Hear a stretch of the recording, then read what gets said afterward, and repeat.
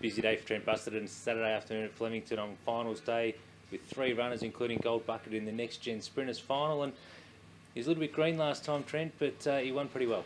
Yeah, he's, uh, he's certainly done nothing wrong. I think he's had four starts, won a couple of them, and run third. So he missed down the straight last time at Flemington, a bit of a non-event. He came down the middle of the track by himself and got lost. So um, he's well, he's happy, but it's, it's a pretty strong field. It's a good two-year-old field as you'd expect for the prize money.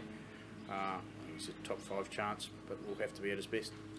His wins have been over 1,000 metres, over 12, over 1,200 this time out. Uh, any concerns there? No, not not really. He's been pretty strong through the line both times, so it shouldn't be a concern. You've got winning bid in the Taj Rossi Series final, and at her first start she settled near the rear, but uh, found the line really well. Yeah, and I'd suggest she'll do the same. Look, she's going to be a filly that's going to get out over 2,000 plus as a three-year-old. Um, this type of distance for these two-year-olds is ideal this time of year. Strong wide, she'll go back, and I'd suggest she'll be hitting the line pretty hard.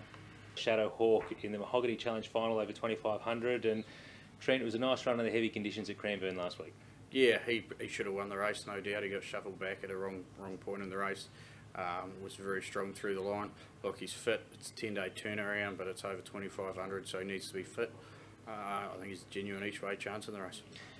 His previous win was in the heavy, but he's got some pretty good form on top of the ground as well. Yeah, it's not going to be rock hard, but he, he's uh, firm tracks don't worry him. But you know, I'd suggest it's going to be a soft five, soft six, somewhere around there, and that, that won't worry him either. So yeah, he's just, just a genuine each way chance.